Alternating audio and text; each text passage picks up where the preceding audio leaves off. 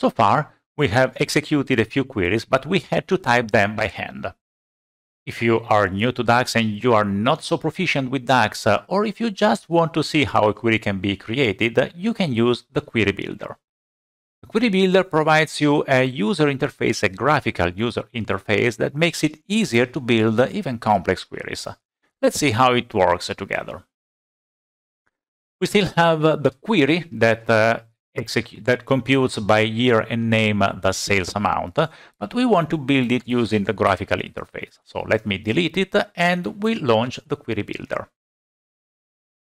I need to clear the previous query and uh, you just uh, use drag and drop. So we want it by year, so I need to search in the date calendar year and I drop it here in the columns and measures. Then I want from customer the customer name. And then I wanted the sales amount. So I take the sales amount and I drop it there. I have year, name, and sales amount. If I run the query, I obtain the result, calendar year, name, and sales amount. If you need uh, some filters, for example, then you can add them here.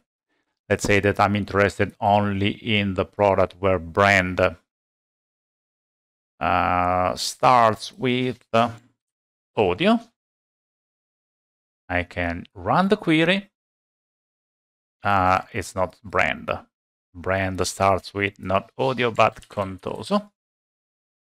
So let me run the query, and now I have the result only for Contoso. I don't see the um, brand here, so I can just add it to the report. I have year, brand, name, and everything else. I started, and you see that the brand is always Contoso. If you want or if you need, you can also create local measures in the query. You can go here and create a new measure. Let's call it uh, amount minus, no, let's call it margin. And here you need just to write the code of the measure, which is SUMX over sales of sales quantity times sales uh, unit sales net price minus sales unit cost. Okay, if I did everything correctly, also it's also a good idea to format the code, but I can't. We can click on OK, run the query, and now I also have my margin measure here. If you want to see the code of the query, because so far what we did was running the query because we were interested in the result. So probably we wanted to export this result somewhere. But if you want to look at the content of the query, you can click on Edit Query.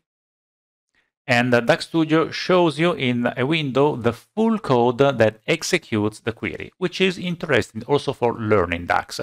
You learn how to use summarize column. You, you, you know you learn how to use KEEPFILTERS, how to apply filters on specific columns, and how to add measures and calculation inside the query. So if you are new to DAX or if you just need to build a complex query and you don't want to waste time uh, writing the entire piece, the entire code by yourself, uh, then the Query Builder is a good addition in your tool belt.